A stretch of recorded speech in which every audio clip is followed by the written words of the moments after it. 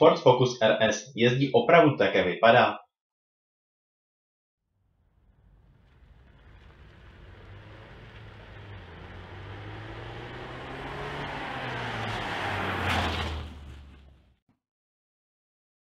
Auto má inteligentní pohon všech kol AVD, poskytuje tak perfektní trakci v náročných podmínkách. Navíc je zde systém regulace vektoru se dvěmi zadními spojkami a při zatáčení přesměrovává v případě potřeby až 100% točivého momentu pohonu zadních kol na jedno kolo.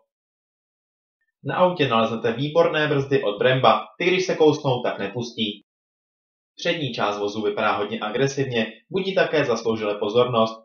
Po stranách jsou mlhovky a uprostřed je velká mříž chladiče. Přední světla dostala LED denní svícení a také adaptivní bixenonové světla, ale očekával bych zde LED technologii.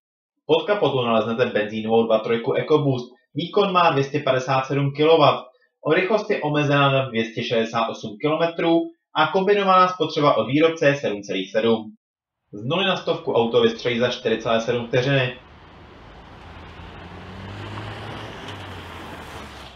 A jak vypadá interiér vozu? Na první pohled vás bouchne do očí volant, řadící páka, pedály, kaplička přístrojů a sportovní sedačka.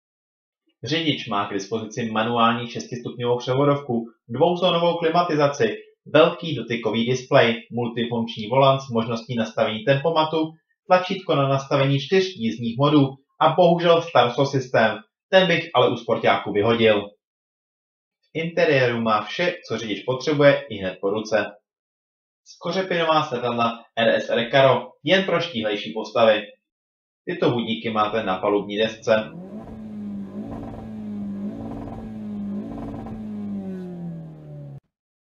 Prahy vozu u řidiče a spolujezdce zdobí nápis RS. Prostor na zadních sedačkách je překvapivě velký.